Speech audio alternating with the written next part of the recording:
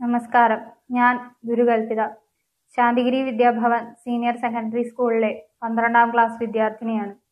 July അഞ്ച് നമ്മുടെ പ്രിയപ്പെട്ട എഴുത്തുകാരൻ വൈക്കം മുഹമ്മദ് ബഷീറിന്റെ ഇരുപത്തിയാറാം ചരമവാർഷിക ദിനമാണ്. ഇതുമായി ബന്ധപ്പെട്ട ഒരനുസ്മരണമാണ് ഇന്ന് ഞാൻ നിങ്ങളുമായി പങ്കുവയ്ക്കുന്നത്. ആധുനിക മലയാള സാഹിത്യത്തിലെ കഥാരചനയിൽ തന്റേതായ ശൈലി വ്യക്തിമുദ്രയാക്കിയ ജനകീയ എഴുത്തുകാരനായിരുന്നു ബേപ്പൂർ സുൽത്താൻ എന്ന അപരനാമത്തിൽ അറിയപ്പെട്ട വൈക്കം മുഹമ്മദ് ബഷീർ. ആയിരത്തി തൊള്ളായിരത്തി തൊണ്ണൂറ്റിനാല് ജൂലൈ അഞ്ചിൽ സാഹിത്യലോകത്തിന് നികത്താനാകാത്ത ആറാത്ത മുറിവുണ്ടാക്കി നമ്മോട് വിട പറഞ്ഞ ബേപ്പൂർ സുൽത്താന്റെ ഇരുപത്തിയാറാം ചരമവാർഷികത്തിൽ സാഹിത്യ മനസ്സുകളിൽ ബാക്കി വച്ച പുതുമയാർന്ന ഓർമ്മകൾ നമുക്ക് കയവിറക്കാം വൈക്കം മുഹമ്മദ് ബഷീർ പച്ചയായ മനുഷ്യരുടെ ജീവിതാനുഭവങ്ങൾ ഹാസ്യരചനയിലൂടെ അവതരിപ്പിച്ച് വായനക്കാരെ ചിരിപ്പിക്കുകയും ചിന്തിപ്പിക്കുകയും മാത്രമല്ല ഒപ്പം കരയിപ്പിക്കുകയും കൂടി ചെയ്തു. അതായിരുന്നു ആ എഴുത്തിന്റെ മികവും ശക്തിയും. ആയിരത്തി തൊള്ളായിരത്തി എട്ട് ജനുവരി ഇരുപത്തൊന്നിന് കോട്ടയം ജില്ലയിലെ തലയോലപ്പറമ്പ് വൈക്കത്ത് ജനിച്ച അദ്ദേഹം സ്വന്തം രചനകളിലൂടെ വിശ്വസാഹിത്യകാരനായി മാറുകയായിരുന്നു. തന്റേത് മാത്രമായ ശൈലിയും സംസാര ഭാഷയും അദ്ദേഹത്തെ മറ്റുള്ളവരിൽ നിന്നും വ്യത്യസ്തനാക്കി. ബഷീറിന്റെ രചനാശൈലിയെ ബഷീറിയൻ ശൈലി എന്ന് മാത്രമായി അറിയപ്പെട്ടു.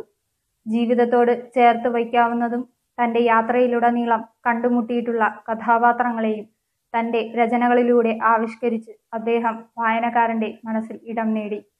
പാത്തുമ്മയുടെ ആട് ബാല്യകാല സഖി ഇന്ദുപ്പുപ്പായിക്കര ആനയുണ്ടായിരുന്നു. മതിലുകൾ വിശ്വവിഖ്യാതമായ മൂക്ക് പാവപ്പെട്ടവരുടെ വേശ്യ പ്രേമലേഖനം എന്നിങ്ങനെയുള്ള കൃതികൾ മലയാളിക്ക് ഒരിക്കൽ പോലും മറക്കാനാകില്ല.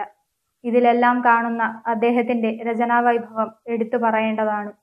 ബഷീറിന്റെ മാസ്റ്റർ പീസുകളിലൊന്നാണ് ബാല്യകാല സഖി എന്നാൽ ഇതൊരു ചെറു നോവൽ കൂടിയാണ്. സ്വന്തം ജീവിത പശ്ചാത്തലമായിരുന്നു പാത്തുമ്മയുടെ ആട് എന്ന നോവൽ.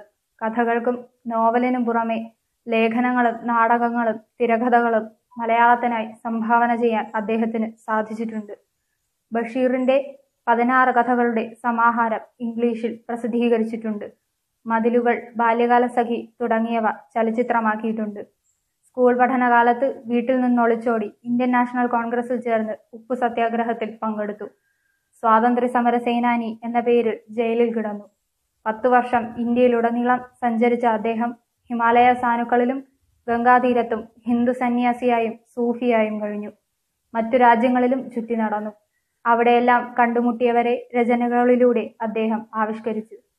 സാഹിത്യത്തിനും രാഷ്ട്രീയത്തിനുമായി നാല് നാമപത്രങ്ങൾ കേരള സാഹിത്യ അക്കാദമി കേന്ദ്ര സാഹിത്യ അക്കാദമി ഫെലോഷിപ്പുകൾ എന്നിവ അദ്ദേഹത്തിന് ലഭിച്ചു. ആയിരത്തി തൊള്ളായിരത്തി എൺപത്തിരണ്ടിൽ രാജ്യം പത്മശ്രീ നൽകി ആദരിച്ചു.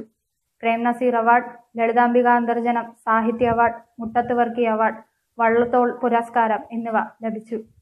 ആയിരത്തി തൊള്ളായിരത്തി എൺപത്തിയേഴിൽ Calicut university doctor of letters ബിരുദം നൽകി. ആയിരത്തി തൊള്ളായിരത്തി തൊണ്ണൂറ്റിയേഴിൽ പ്രസിദ്ധീകരിച്ച ചെവി ഓർക്കുക അന്തിമ കാഹളമാണ് ബഷീറിന്റെ അവസാന കൃതി ഇമ്മിണി വലിയ ഒന്നും സ്ഥലത്തെ പ്രധാന ദിവ്യനും ഭൂമിയുടെ നടുമധ്യവുമെല്ലാം നർമ്മം തുളുമ്പുന്ന ബഷീർ ശൈലിയുടെ ഉത്തമ ഉദാഹരണങ്ങളാണ്. ചെറിയ ചെറിയ വാക്കുകളിലൂടെ എഴുതി മഹാനായ വലിയ മനുഷ്യനാണ് ബഷീർ. ജീവിതത്തിൽ തിക്തമായ അനുഭവങ്ങളും വേദനകളും ഉണ്ടായപ്പോഴും മനുഷ്യന്റെ നന്മയെ കണ്ടെത്താനായിരുന്നു അദ്ദേഹത്തിന്റെ ശ്രമം. ആയിരത്തി തൊള്ളായിരത്തി തൊണ്ണൂറ്റി നാല് ജൂലൈ അഞ്ചിന് ബഷീർ വിട പറഞ്ഞെങ്കിലും അദ്ദേഹത്തിന്റെ രചനകൾ ഇന്നും ജീവിക്കുന്നു. കാരണം വായനക്കാരന് എന്നും അത് പുതുമയാണ്. കുട്ടികൾക്കാണെങ്കിൽ അത് പാഠപുസ്തകങ്ങളും അതാകട്ടെ പച്ചയായ ജീവിതവും സഹജീവി സ്നേഹവും എല്ലാം നിറച്ച് മഹനീയമാക്കിയിരിക്കുന്നു. ബഷീർ ഒന്നേ ഉള്ളൂ. അദ്ദേഹത്തിന് പകരമാകാൻ മലയാള ഭാഷയിൽ മറ്റാരുമില്ല എന്നാണ് വൈക്കം മുഹമ്മദ് ബഷീറിന്റെ വിയോഗത്തിൽ എം മുകുന്ദൻ അഭിപ്രായപ്പെട്ടത്. അദ്ദേഹത്തിന്റെ കൃതികൾ നമുക്ക് വായിച്ചുകൊണ്ടേയിരിക്കാം.